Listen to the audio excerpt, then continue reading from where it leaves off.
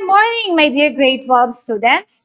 Welcome to Contemporary Philippine Arts from the regions wherein your creativity and artistic ability will be developed and practiced. I'm Ms. Maricris Bisidilla from Lawang Bato National High School, your art teacher for week 1.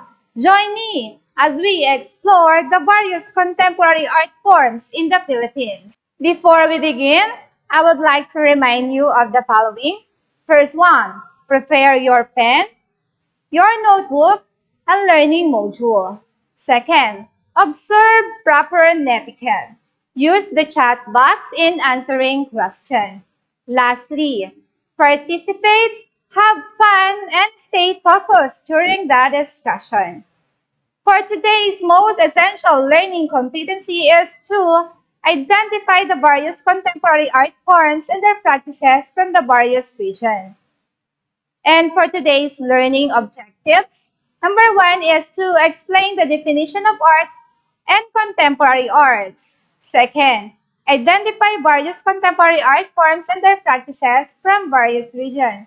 And lastly, is to value the importance of studying contemporary arts. To start, we will be going to define the previous definition of arts when you are in junior high school. What is the definition of arts when you are in junior high school? Kindly use the comment sections to give the answers. Very good. All your answer is correct. Art described as means of expression that require imagination or skills in making aesthetic objects. Before we proceed to our formal discussion, let us have a game first. Are you familiar with the various contemporary art forms and their practices from the various regions? Let us find out by doing the first activity which is guess that picture or video. What you are going to do is you are going to guess the various contemporary art forms that I'll be playing or posting. You may place your answer on our comment section. Are you ready? So let us have an example. Let's have the first slide. What contemporary art form is playing on the?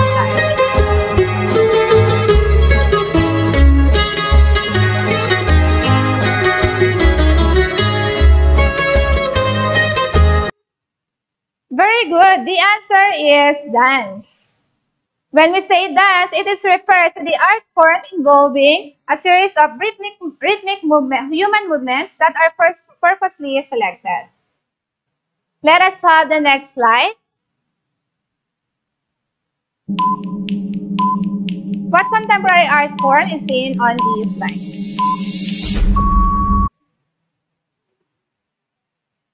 Excellent. The answer is weaving. Weaving refers to the process of creating a cloth by interweaving a series of parallel vertical threads with another series of horizontal threads in right angles.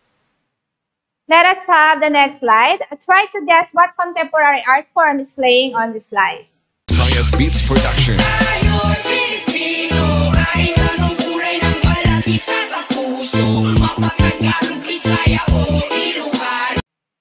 That is great. The answer is music. Music refers to the defines as the arrangement sounds to create a continuous and unified composition. Let us have the last one. What contemporary art form is on this slide?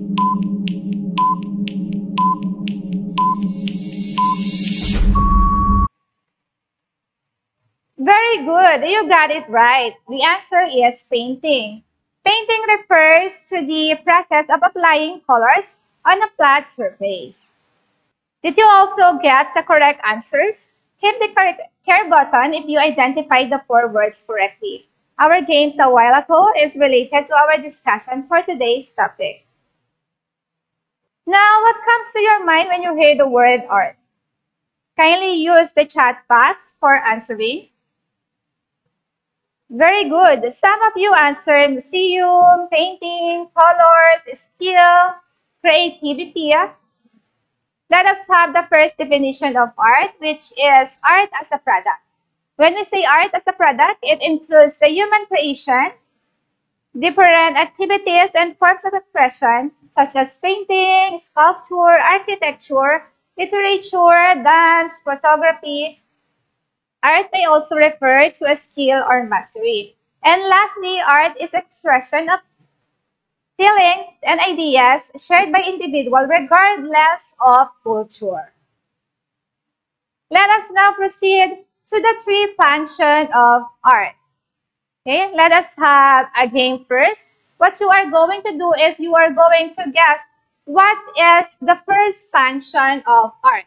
Okay, let's have the first clue. The first clue is this is one word with a 13 letters. The first letter starts with the vowel letter E. And the next clue, last word is letter T. And the third clue is the sixth letter is letter T.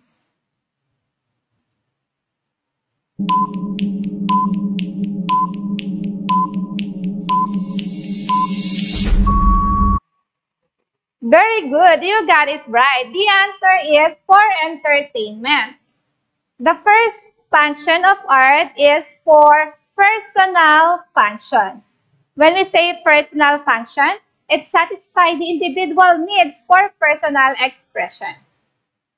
And the second function of arts is for social function, for social needs, for display, celebration, and communication.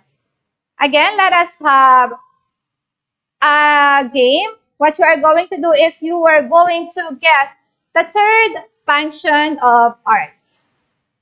Okay. The first clue is, this one is a one, one word.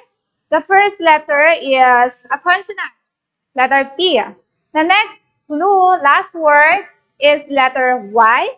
And the third clue, second letter, is letter R. And the last clue, the uh, seventh letter is letter C. You may answer.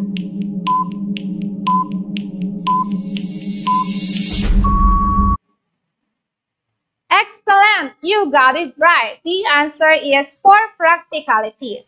The third function of art is for physical function, which means for everyday use, or the physical needs for utilitarian objects and structure. Let us now proceed to our next topic, which is the timeline of Philippine arts. The first one is the ethnic art, ethnic art or also known as the pre-colonial era. During this time, the characteristic of art is more on integral part. So those are the art that they are using in their daily lives. Let's say, for example, um, curbing, folk dances. We also have the pottery during this time. The example of that is the Palawan Manunggul uh, jar and the uh, Ilocos Burnay jar found in Ilocos. So the next one is the uh, Islamic art. In the 13th centuries, the traders and missionaries have introduced the religion of Islam in the Philippines. It is characterized by the designs of flowers, plant forms, and geometric design. It is used in architecture like buildings, houses, and churches. The example of that is the batik cloth. Okay, as you can see, we have two examples of batik cloth the number one is with the floral design and number two is the geometric design. Okay. We also have the Grand Mosque of Cotabato found in Cotabato. Let us now proceed to the next era, which is the Spanish art. So during this time, it was when 1521 and 1898, the characteristic of Spanish art was uh, characterized by faith and patriotism. Example of that is the Purgatory painting, painted by Joseph Luciano Dans, who painted the two arts to be found in Paete, Laguna. We also have the Spoliarium, painted by Juan Novicio Luna. And last example is the St. Augustine Church, found in Paoay, Ilocos Norte. The next timeline of the Philippine art is the American era. during 1898 up to 1900, wherein the characteristic was secular form of art. What is secular form of art? When we say secular, it is refers to the art that has no religious reference point of view, but focuses on humanistic view and nature. The next one is the uh, Japanese era. During the 1941 up to 1950, wherein the characteristic is orientalizing. They impose their own music in the Philippines. In the Philippines,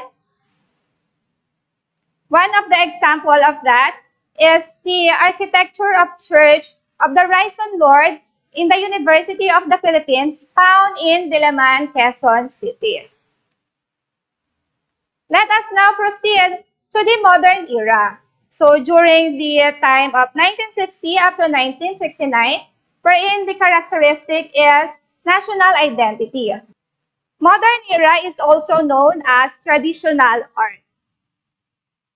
And lastly is the contemporary era. Contemporary era is characterized, characterized by social realism. It is refers to the art of today. Again, when we say contemporary, contemporary means present day, art today. So, it means that the contemporary art is the art that we are using right now. Okay? So, let us have a short tour of contemporary art forms from various regions and provinces in the Philippines. So we have the first one. Our first stop is from Batanes, wherein they use the vakul headgear in order for, uh, for them to protect from the heat of the sun when working in the farm. It is also used as substitute in the umbrella in rainy season. Okay, our next one is the Vinta boats of Mindanao. So, Vinta boat is the traditional boat of the Moro and Sama people living in Sulu. It also symbolizes character of the Mindanaoan people as travelers and immigrants. And the last one is the uh, Pangalay or Pangalay is the traditional fingernail dance of the Tausug people of the Sulu archipelago and eastern coast of Bajau of Sabah. So let us now summarize our topic. So for today's discussion, we discussed the definition of art. Again, when we say art, it is refers to the any skill or mastery. And we also define the definition of contemporary. Contemporary means present day or now. We also discussed the various contemporary art forms in the Philippines, which is composed of visual art and performing arts. And lastly, we have discussed the timeline of arts in the Philippines. First one is the ethnic art, followed by Islamic art, followed by Spanish era, followed by American era. era. The next one is the Japanese era, and the next one is the modern era, also known as the traditional art, wherein the characteristic is more on the national identity of the Filipinos and the last one is the contemporary, contemporary era, which is characterized as social realism. Before we end our discussion, let us see how much you have learned from today's lesson. Comment your answer in our comment section. Let us have a fact check. Write true if the statement is correct and write false if the statement is wrong. Write your answer on the chat box. Let me read the questions for you. Number one. Contemporary art refers to the art today. You have five seconds to answer.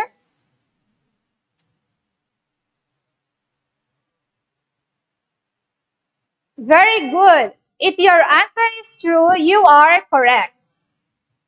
Let us have the number two. Vakul headgear is used by the native of Batanes or Ivatans to protect the wearer from the sun and rain. You have 5 seconds to answer. Very good. The answer is true. The third one,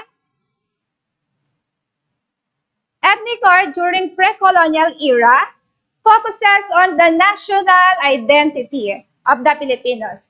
Is it true or false? You have five seconds to answer. The answer is false. Ethnic art focuses on integral part or the product that uses on the everyday life. Well done! Did you also, did you also get the correct answer? Hit the care button if you identify the three answers correctly. If you still have questions and point of clarification regarding the topic for today, you can ask your respective subject teacher in your follow-up session. I hope you enjoy and learn something from today's discussion. Thank you for watching and listening. Stay safe and have a good day.